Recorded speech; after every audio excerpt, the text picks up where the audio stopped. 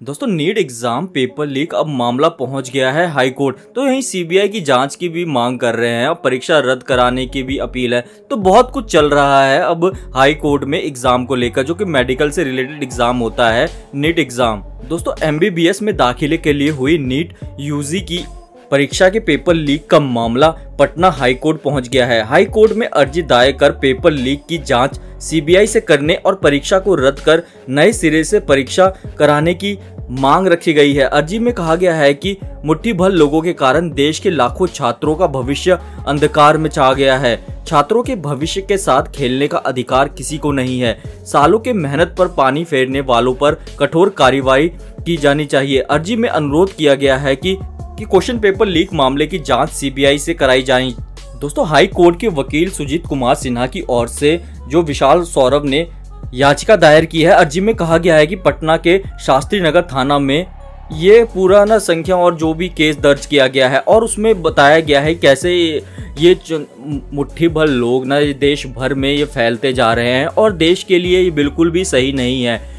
क्योंकि जो इसमें भाग लिया है, जिन विद्यार्थियों ने सालों साल मेहनत कर रहे हैं, किसी का ये एग्ज़ाम बहुत अच्छा गया है, और अगर उनका एग्ज़ाम अच्छा गया है, अगर हाई कोर्ट ने ये कह दिया कि वो रिज़र्व वो नहीं माने रखेगा, दोबारा से एग्ज़ाम होगा तो उन पर क्या बीतेगी? क्योंकि ना, ऐसा होता है ना कि आपका जब एग्ज़ाम, आप बहुत पढ़े लिख के गए हो। लेकिन जब एग्ज़ाम पेपर टाइम आता है ना तो वो टाइम होता है कि आप कैसे एग्ज़ाम को एग्जीक्यूट कर रहे हो। उस समय आपने अच्छा किया हो, लेकिन अगली बार वो नहीं हो पाया उसी तरह से, आपके नंबर उस तरह से नहीं हो पाए तो उसका जिम्मेदार कौन होगा? दोस्तों, मुझे तो लगता है कि और भी जैसे खून मर्डर ये सब, ये किडनैपिंग ये सब जितने बड़े संगीन अपराध है ना तो पेपर लीक मामला भी एक बहुत ही बड़ा संगीन अपराध है। इसमें भी जो भी क्राइम करता है ना, उसको भी कठोर सजा मिलनी चाहिए। जैसे खून करने पे मिलता है, जैसे कि किडनैपिंग या फिर कोई और अपराध करने पे कोई सजा मिलती है ना, जैसे बड़ी सज़ा मिलती है, जेल या फिर इतने तो वैसी सज़ा ऐसे पेपर लीक करने वालों, लोगों को भी देनी चाहिए, क्योंकि ये बहुत सारे छात्राओं के ना भविष्य के साथ खेलते हैं। कई लोग ना कई डिप्रेशन में चले जाते हैं स्टूडेंट अगर दोबारा जिनका अच्छा गया हो दोबारा उनका ख़राब जा, चला जाए दोबारा पेपर देने के बाद तो क्या होगा? तो वो डिप्रेशन में चले जाएँगे। डिप्रेशन में जाने के बाद वो कुछ ऐसा कदम उठा लेंगे जो कि फिर बाद में पछताना पड़ेगा। तो बहुत चीज़ें हैं क्योंकि ये छोटी मोटी बात नहीं है। लाखों लोग बच्चे देश भर में मेडिकल का एग्ज़ाम देते हैं।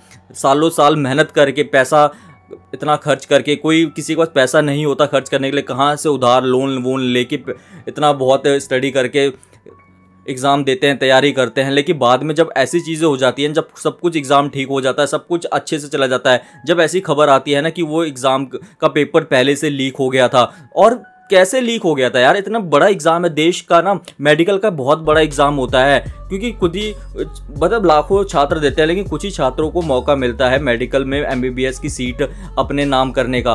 तो ये बहुत बड़ा एग्ज़ाम होता है और बहुत ही, इसमें सिक्योरिटी भी टाइट होती है, बहुत ज़्यादा, लेकिन फिर भी कैसे ये लीक हो जाता है? इनके पीछे कोई मामूली आदमी तो होंगे नहीं, कोई बड़े नेता या फिर कुछ बिजनेसमैन कुछ ऐसे लोग होंगे, तभी ये पेपर लीक हो पाते हैं, वरना इतने हाई सिक्योरिटी के बाद भी, इतने बड़े बड़े पेपर का लीक हो जाना बहुत ही बड़ी बात है। और ये देश के लिए और उस राज्य के लिए बहुत ही शर्मिंदा की बात है, क्योंकि उन्हें शर्म आनी चाहिए, यार, ऐसे पेपर लीक करके पैसे कमाने से अच्छा है ना, कुछ और करें। क्योंकि अगर आपने ऐसा किया, अगर कोर्ट ने आपको फिर से छोड़ दिया, या फिर ऐसा कहा कि दोबारा से पेपर होगा और उन बच्चों को छोड़ दो मतलब जिन्होंने किया है ना, उन, उनको छोड़ दो जिन्होंने पेपर लीक किया है तो वो गलत है ना? इनको भी सख्त सज़ा मिलनी चाहिए। दोस्तों, आपको क्या कहना है कि जो इन्होंने ये किया है, उनको सज़ा मिलनी चाहिए, सख्त से सज़ा मिलनी चाहिए, उनकी क्या सज़ा होनी चाहिए? कमेंट करके ज़रूर बताएँ। वीडियो अच्छी लगी, वीडियो को लाइक और हमारे चैनल को सब्सक्राइब ज़रूर करें।